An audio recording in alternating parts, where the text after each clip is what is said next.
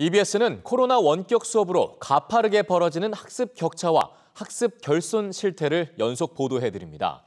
실제 EBS가 전국 초중고등학생과 학부모를 대상으로 긴급 설문조사를 실시했더니 원격 수업이 담긴 학습 공백 문제가 예상보다 훨씬 심각했습니다. 서연아 기자의 보도입니다.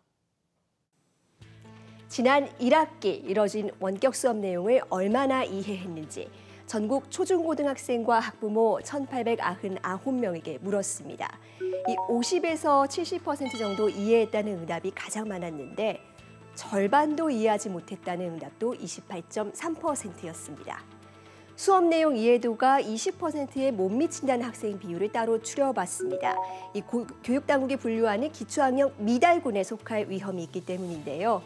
초등 1, 2학년이 7.5%, 중학생 5.9%, 고등학생 9.2%였습니다. 특히 초등 저학년과 고등학생이 체감하는 상황이 심각했습니다. 학생과 학부모 모두 원격 수업에서의 학업 성취도는 등교 수업에 비해 떨어진다고 생각했습니다. 이 큰 차이가 없다는 응답은 30.6%, 원격 수업이 더 나았다는 응답은 3.5%에 불과했습니다.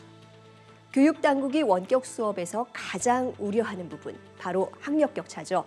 이 학생과 학부모도 87.8%, 그러니까 9명 가운데 8명이 원격 수업 때문에 격차가 벌어졌다고 느꼈습니다.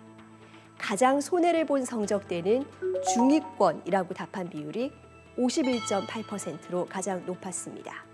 최상위권과 상위권은 상대적으로 수업 방식의 영향이 적었을 것이라는 응답이 많았습니다. 원격 수업이 힘든 이유로는 집중이 안 된다는 응답이 42.4%로 압도적이었습니다.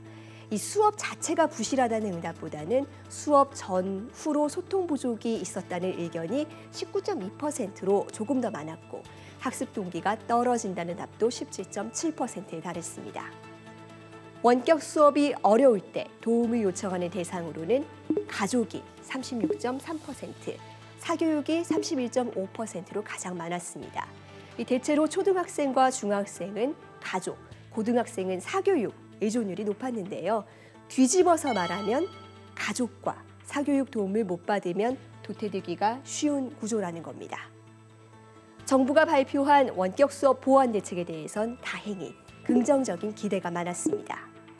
등교 수업 확대가 66.3%로 가장 많은 지지를 받았고 온라인 쌍방향 수업이나 학습 도우미도 도움이 될 것이라는 응답이 절반에 가까웠습니다.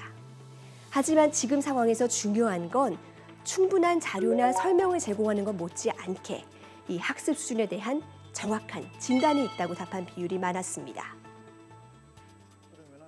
학력 격차, 학력 저하의 문제가 어느 정도 발생했는지조차도 지금 가늠할 수 없다라는 거.